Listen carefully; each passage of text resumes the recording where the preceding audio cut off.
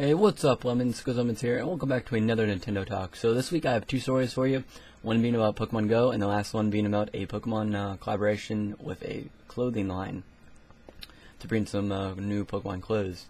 So let's get into this Pokemon Go story just to get it over with, because everyone really wants to hear about Pokemon Go. That's all they hear all the time now anyway. But, so there's a story online about a library that had four Pokestops removed. So, as in Pokemon Go are removing Pokemon stops. So this library uh, requested that their stops be removed because people were just coming in the library, just abusing everything, not really like doing anything except playing Pokemon Go in the library. Obviously, you know, using up all their electricity. That's one of the minor things they had going on. One of the things they said was people were wearing out the grass because there were probably a lot of people there, you know, outside on the grass. So I don't know. That's a minor problem. I mean, it's grass, but I mean, one of the things was uh, people were selling electricity, which they didn't have, you know, like without a permit. I don't know how you're gonna sell the library, public libraries electricity. And then when they had like public library events, everyone had to park like blocks and blocks away because everyone else is just there collecting Pokestops. So it's not really good for a business on a business standpoint.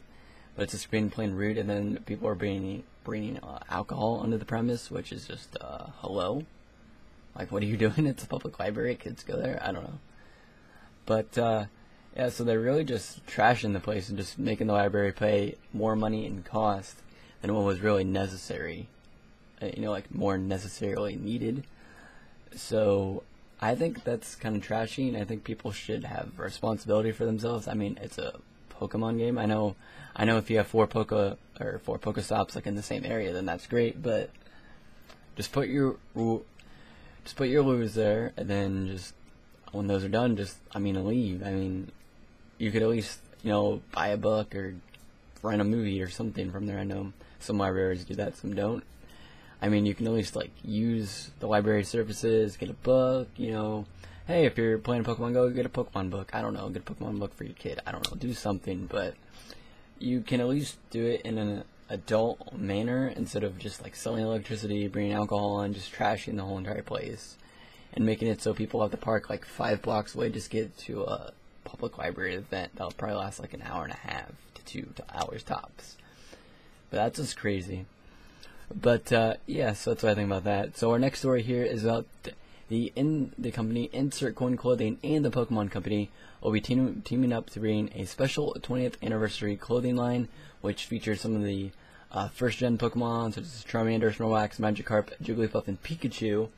And it turns out if you are in the UK, then you can get a sneak peek at the uh, pop-up show at the London Brewery between uh, the 25th and 30th of August.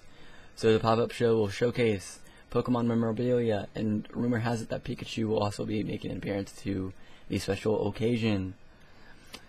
So I think that's really cool that they're doing like a kind of like a pop-up show, like a fashion show for all these new Pokemon garments. And if you don't know what kinds of things Insert Clothing does, they do a lot of gaming merchandise, like or I guess not merchandise, but clothing. So they do like Assassin's Creed or Uncharted or Lara Croft, you know, just anything gaming that's on the open. So now that they're bringing Pokemon to that, that'll be really cool.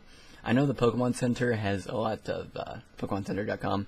I know they have a lot of um, Pokemon mem- memorabilia and stuff as well. But now that we get like another place to get it, as you know, and more a lot more stuff to being added, which will be really cool. Maybe we can get a lot of hoodies or pants or something, just Pokemon full costumes. I don't know, like Pokemon robes or something like that. So I think that's actually really cool and great that uh, Pokemon is the uh, Pokemon company is starting to team up with other people instead of just kind of doing it on their own.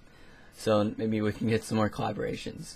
Maybe they can uh, collaborate with like a car company and get like a Pokemon like car. I don't know. that's just kind of weird. But uh, yeah, so that's all the news I have for you today, guys. So if you did enjoy, please slap a like on the video and subscribe for more content.